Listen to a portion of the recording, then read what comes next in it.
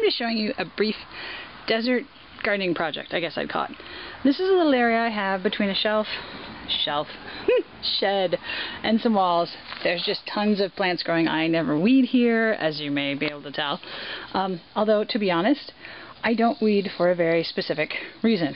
And one reason is because uh, usually desert soil looks like this. And I'm going to have a picture up here so you can see.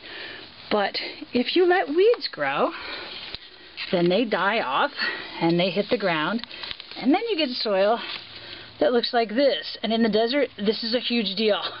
this is not soil you usually find. The fact that I can stick my hands in it, that's huge. so me letting my weeds grow, this is a few years worth of you know, weeds and dead grasses and stuff, and it helps my soil. It also attracts little critters that sometimes, you know, have little poo here, so I get little manure and everything. So that's the reason. Right here, as you may be able to tell, this little spot we've got a little open, I'm going to be planting this plant. It's called, oh, can't see it very well in the light, can you? It's called a pale leaf wolfberry. It's actually a related to the acai berry, if you've heard of that, except it's native to the Sonoran Desert in the southwest. So I can get my little acai berries. Once this is planted and established, I do not have to water it. And in the desert, that's huge. The other reason I let plants grow where they will is actually because I have been researching as much as I can the uses of common plants. And so I take out some of the weeds that I don't want, and I keep the weeds that do a good job for me. Like this plant right here. This is called camphor weed. That's actually medicinal. This is a type of local tobacco. I'll have the names for these down in the comments, or you know what I mean, the little thing underneath. This is a tobacco. It's also medicinal. This attracts a lot of bees in the area. I hate it otherwise. As soon as my acai berry comes, I'm going to have other things here that would be more beneficial. This grass, crummy little grass, is actually super helpful because underneath is growing oregano. That's what this is. This oregano in an area that gets up to 117 degrees Fahrenheit in the summertime and gets 12 inches of rain a year I water that oregano maybe once a year. So because it gets shade from the grass and all these plants keep all this moisture here, I don't have to water it. It's amazing.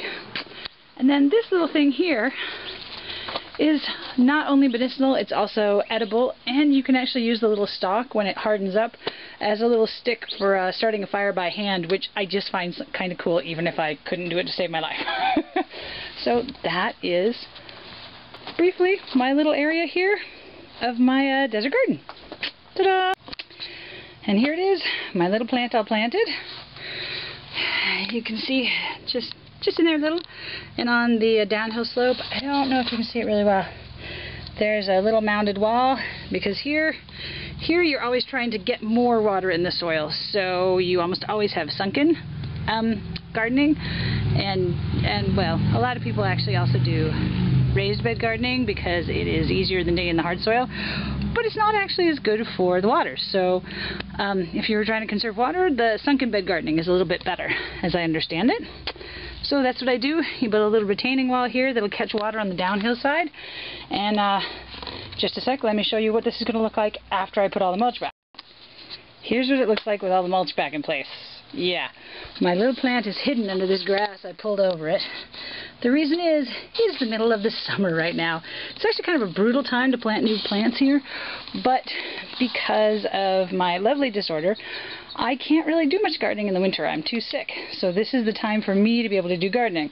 As a result, I have my little tricks like this, which is using what's around the plant to give it a little shade, since I don't have, you know, tons of money to buy shade cloth all over the place and everything else.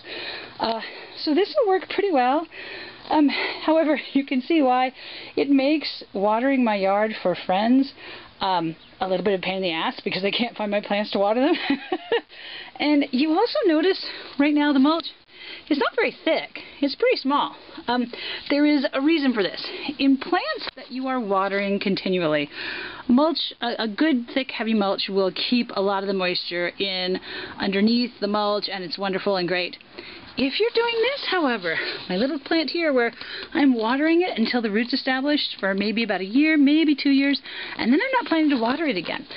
Um, unless it's, you know, really, really bad drought.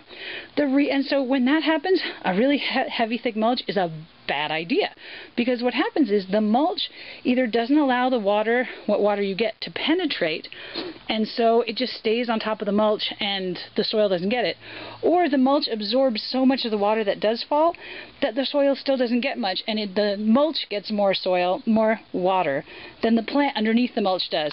So in an environment where you're planning not to water the tree for a while, if you're in the desert, just like a little mulch, like half inch to an inch, um, as I understand it, seems to work fairly well to help keep the, the ground a little moist. And the other thing that works well is stones. Um, if you're in a shaded area so the sun isn't going to reflect off of this rock and add heat to your plant, which can just kill off your plants if you don't have the right ones, if you have some shade, putting a rock under here, or even better, a rock underneath the mulch like that, you will have more, not, not completely covering everything in rocks, but some big stones here and there. You'll actually have more water retention underneath that rock, and that can actually help the plants.